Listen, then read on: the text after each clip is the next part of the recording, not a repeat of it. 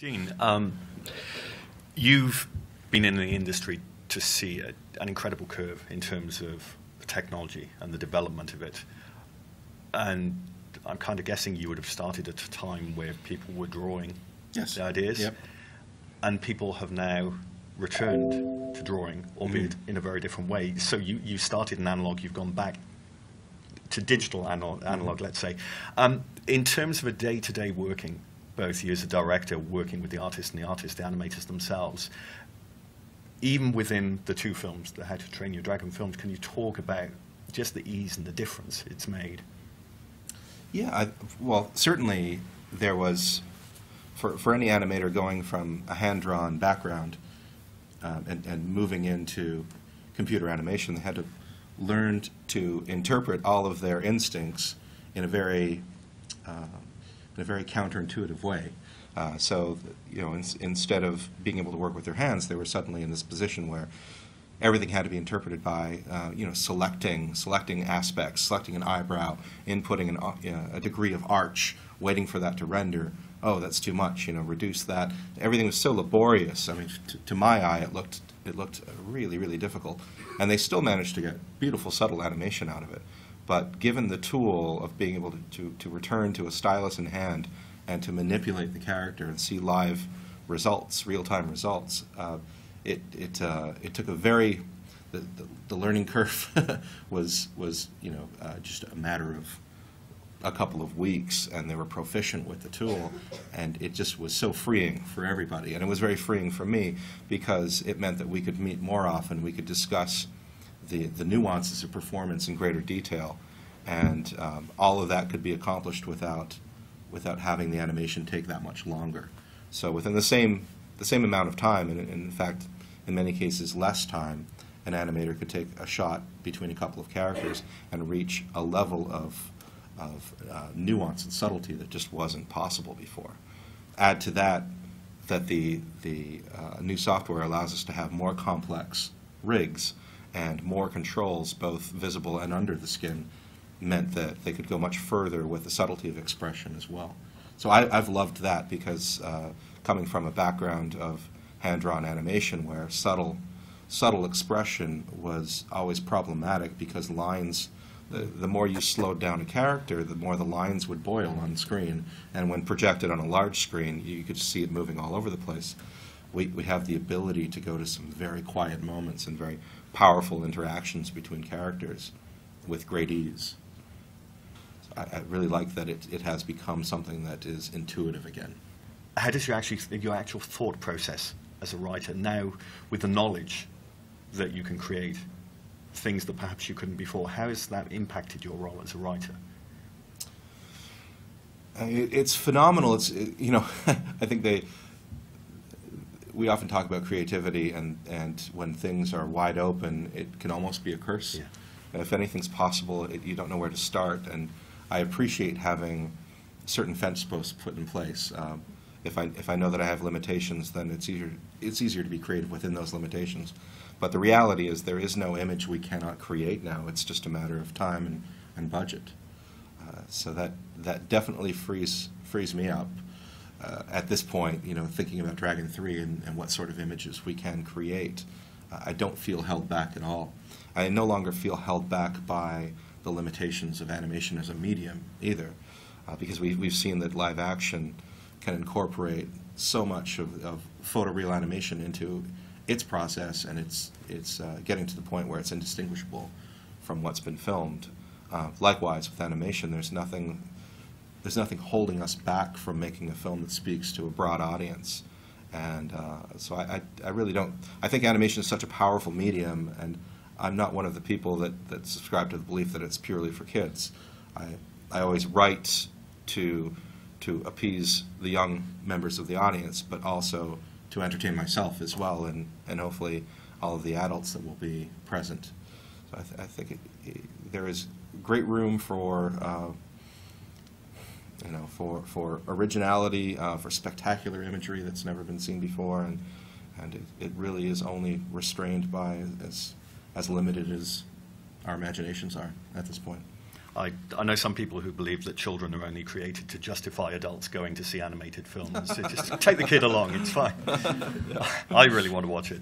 Um, I, I talked about in the introduction that the 1980s, to a degree, was a dearth of um, Mm. animated features.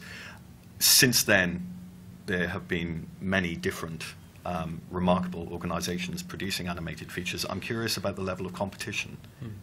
Um, obviously, creatively, it, everything's under wraps. But in terms of technology, Lincoln, uh, is there sharing or how does that work? I think, um, I mean, there's a fair amount of movement between the studios at the engineering level, um, and there are forums like conferences. SIGGRAPHS is still going. It's a, it's a, it's a sort of pillar of the um, uh, uh, computer graphics uh, industry. Um, that there's there's a fair, quite a lot of uh, cooperation. For example, we um, we cooperate on standards, um, contribute uh, solutions to those standards, whether that's um, a standard led by Pixar right now, the Open uh, Subdiv, or putting a standard like OpenVDB into the environment. It helps us because it means that um, companies that build tools, like the Foundry based in London, Side Effects, Autodesk, um, Adobe, and so on, can do the work to integrate those standards into the tools, and then we consume those tools back, so we don't actually have to do that work ourselves. So there's actually some self-interest in making certain types of technology available to the wider industry, and that's been a, a, a, a trend actually pioneered by Sony uh, ImageWorks and uh, picked up essentially by all of the major animation studios and many of the visual effects studios. Um, so in that sense, it's pretty cooperative, though not collaborative. We are obviously, to some extent, trying to create opportunities for our filmmakers to do something unique. But ultimately, when it comes to competition, it's about the stories, it's about the film, films themselves. The technology helps you maybe compete commercially and in terms of cost, and sometimes can actually take you to a new type of medium, which we believe the animation capability here really does. Um, but um, yeah, it's pretty, it's pretty cooperative, I would say. Again, you mentioned something there that's also touched on what you said, Dean. There's always been that, that conflict to a degree in, in special effects over look what we can do, as opposed to not necessarily whether we should do it, but is it what you need? Hmm. Well, this is why I wanted to make that contrast, perhaps in, in, in slightly hokey terms, in terms between yang and yin. I mean, the yang is like it's the look at me, look what I can do. In a, in a particular, we do that as well. I mean, there are sequences in Dragons that are hero effects where you put a lot of resource, a lot of um, uh, uh, creative talent in to create a spectacular. The, Bewilderbeast coming out of the water was one of those. Um, uh, but that's a that's a that's a technique, and it's it's it's very brash, but it can also be quite limited. I'm I'm much more excited by the the stuff you don't see and the the efficiency of getting um, that creative dialogue realized and the opportunities basically that come to mind immediately realized in the media. That is much harder to achieve across these types of productions, and when you do so, then the whole product becomes just spectacularly better. And, and that's the big step, I think. I, you know, yes, there's great effects, and yes, these are, these are larger than ever, and, and so on. But the, the, it's, that, it's that quiet stuff that really is really important. And anybody working in visual effects knows the complexity of dealing with this digital data is enormous. I, I like the way that you both talk about acting and, and specific reference to the characters. There's that great line by Hitchcock where he said, Walt Disney has all the best casting. If he doesn't like an actor, he can just tear him up. Um, but what, what I, I, I find quite interesting about that is, is the way that you employ actors. If it's changed in terms of the voices, of at what point they come in, is it different to what, what's been done in the past with animated film? But also, you, you both emphasized movement earlier. And could you talk a little bit more about the way that you create such human movement? Yeah, I, well, you know, I, I believe that uh, the, the casting for these films, my, my particular sensibility is not a very cartoony one. So uh, I think a lot of the actors, when they first come in for auditions, they tend to ham it up and they, they overact, thinking that that's, well, I'm, I'm acting in a cartoon, I should be really broad and everything should be funny. And, and I'm, I'm always encouraging our actors to, to go to a place of just honesty, you know, uh, truth. And um, I love it when we can bring actors together in the same room and, and mic them across from each other and allow them to step on each other's lines or veer off script and, and develop a scene according to their understanding of, of their characters. Uh, because it, it is probably the only spontaneity that we have in animation. It's the only thing that feels uh, truly authentic and real. And we have cameras capturing the, the recording process as well. And, and that's a great reference for the animators because they might see a little detail, a mannerism, a tic that they, they want to adopt into their animation. Uh, it's not to say that they, they follow anything slavishly in terms of live action reference, but um, it, these are all ideas, and uh, oftentimes it's the, the, the most subtle little, little flinch or, or facial tic that creates uh, a bit of character that's, that might not be noticeable, but I think the, the cumulative effect is really strong. So really, what this, the, the advances in the technology have allowed us to go to a place where the acting is that much more believable. The characters feel that much more real because they are not exaggerating.